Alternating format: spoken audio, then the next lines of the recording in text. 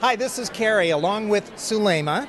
Sulema, we're here at the NPHIC booth in the exhibit center. People are roaming around. Are you talking to some people about uh, NPHIC memberships and things? I am. I'm going around telling everybody and encouraging them to come out to our booth. We've got a lot of information on all our professional development opportunities. We're pitching our upcoming conference. It's going to be a huge success. We're excited to have Barbara Reynolds come out and talk about the crisis and emergency risk Oh, yeah. communications training, which is a really hot topic here at this conference. A lot of people are really looking for professional development opportunities around crisis and emergency risk communications. So Exactly. And we want to see you in person. So, right now, you're getting this tweet, drop everything, come to the NPHIC booth. We want to tell you about why a NPHIC membership is probably the best investment you can make in yourself, in your career, and in public health communication. So, come on by and see us. Absolutely. You won't be sorry.